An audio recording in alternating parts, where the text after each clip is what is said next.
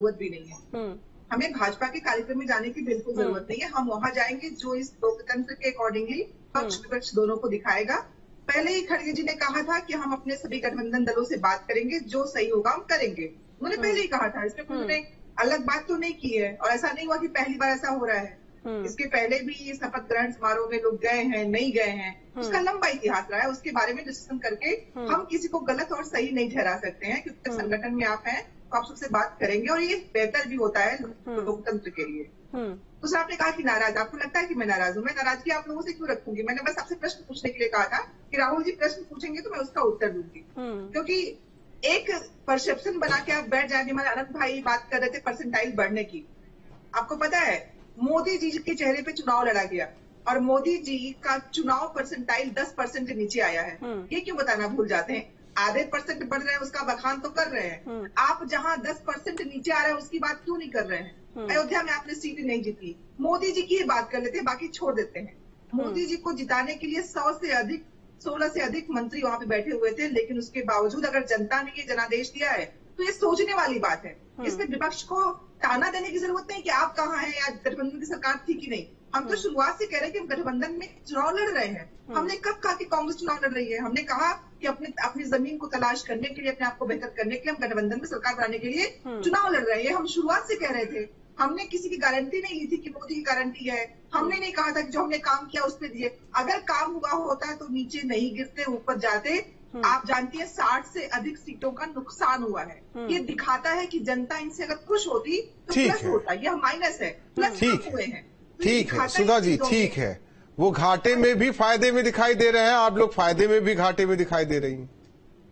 पता भाई ने जो एग्जिट पोल पे छह परसेंट राहुल जी की कमाई हुई है। मैं सौ में छह परसेंट की बात कर सुधा जी मेरा अब अब तो मैं सवाल कर रहा हूँ। अब तो जवाब दे दीजिए। वो घाटे में भी फ़ायदे में है और आप लोग फ़ायदे में भी रहकर भी घाटे में। नहीं, घाटा नहीं में जनता की सेवा करने का, विपक्ष में बैठ मौका मिला, हम उसको करेंगे। जितने सांसद चुन के गए हैं, अपने जनता के साथ अपनी आवाज़ बन के वहाँ पे खड़े रहेंगे अडिग होकर खड़े रहेंगे। अब ये जिस तरह से सब कुछ बिल पास कराते थे, बिना बहस किए, वो नहीं कर पाएँगे। तो हम फ़ायदे में है, घाटे में नहीं है। अभी छह परसेंट के आनंद भाई बात कर रहे थे।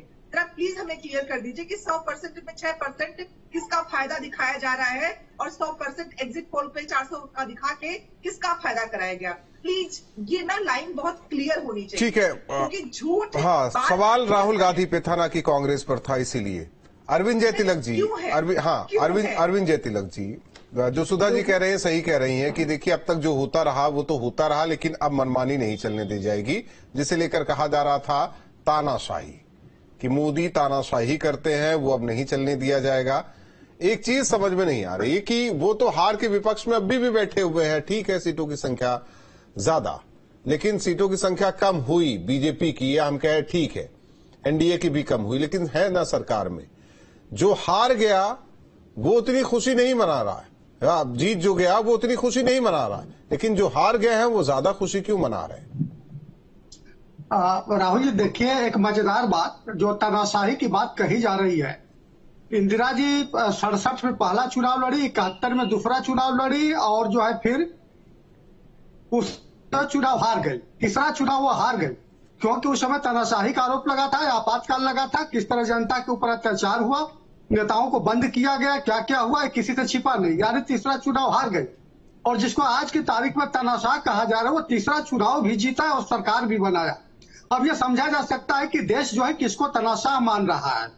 ये बड़ा दुर्भाग्यपूर्ण है कि आप आप जनता के जो जनादेश है, उसको भी आप खारिज कर रहे हैं।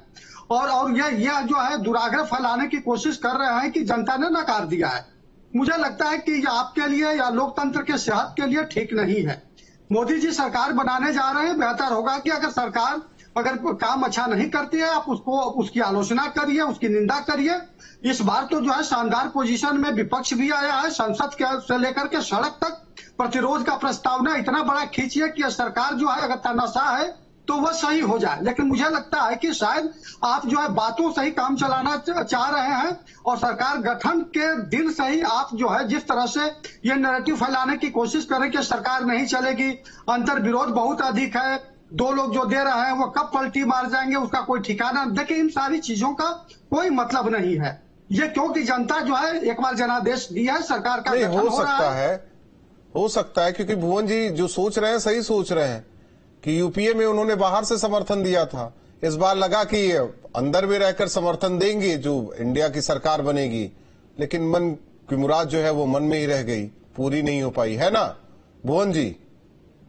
हाँ, देखिए पहले तो भारतीय जनता पार्टी के प्रवक्ता साथी की बात का जवाब दूँगा। ठीक है उन्हीं का जवाब दे दीजिए। हाँ जो ये कह रहे थे कि ये लोग बर- ये लोग बरगलाने में सक्सेस रहे। अरे साहब दस साल से आप देश को बरगला रहे थे। आप ही जुमले फेंक रहे थे आप ही पंद्रह लाख दे रहे थे आप ही दो करोड़ नौकरी दे रहे थे आप ही कालिया धन ला रहे थे। बेटी बचाओ बेटी पढ़ाओ के कह के आप ही महिलाओं की असमत से मणिपुर से लेकर दिल्ली पहलवान मैं तो कह रहा हूँ बहुत खराब काम हुआ दस सालों में लेकिन आज का दिन आप लोगों का होना चाहिए था।